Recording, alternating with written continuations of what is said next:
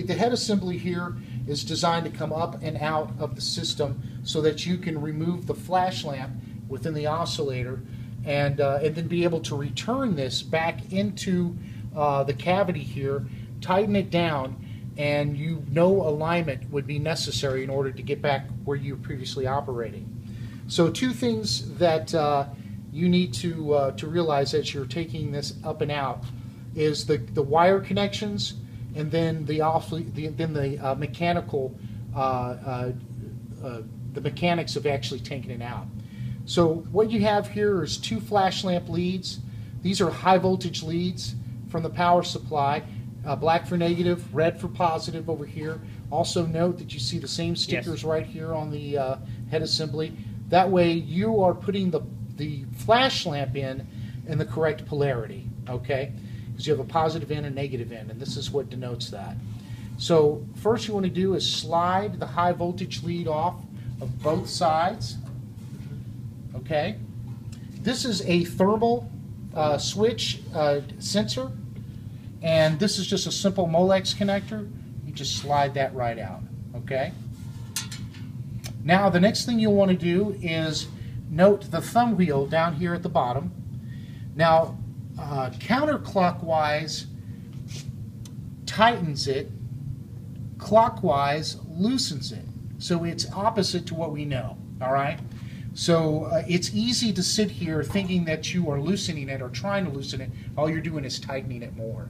Okay, so just remember that counterclockwise to uh, to to tighten, clockwise to loosen. So we're going to spin this clockwise. Sometimes you might need two thumbs down there. You notice how I kind of gripped it and put both my thumbs down there to get it started because it was a little tight. hear the water? Yes. So water is constantly flowing through this head as it operates. And so what we just heard is a little bit of water uh, flowing out at the bottom. Now notice how loose this has gotten.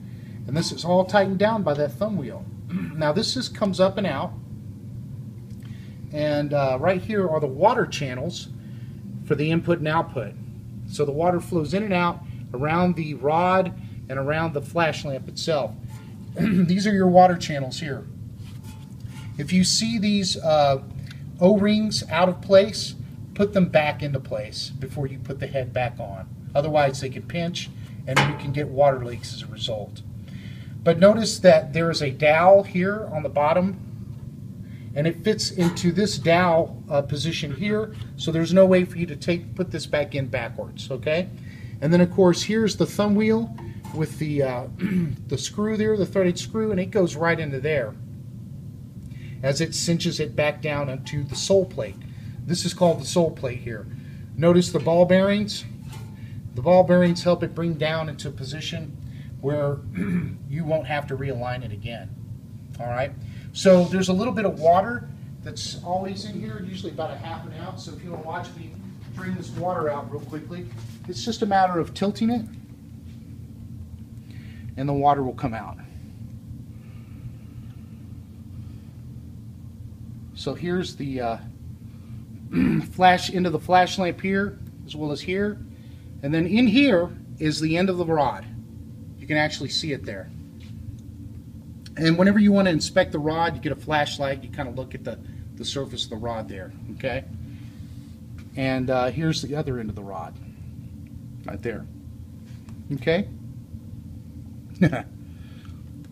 All right, so that's the end of our removal